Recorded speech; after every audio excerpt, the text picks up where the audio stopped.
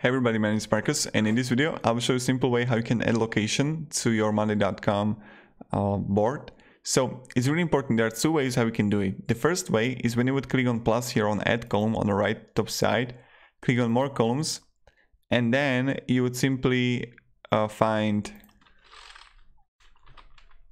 location or map, place multiple locations on the geographic map and then you can like simply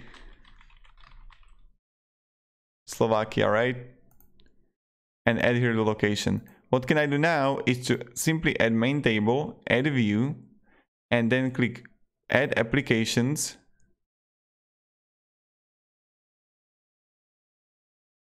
And simple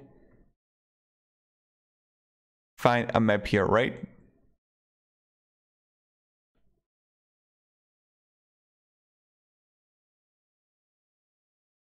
And now I can see that Slovakia is directly here because uh, we got in main table Slovakia and this is how we can simply create a map and talk about your teammates etc. So this is how you can add map and how we can simply add location in monday.com. Thank you very much. Have a great day and goodbye. See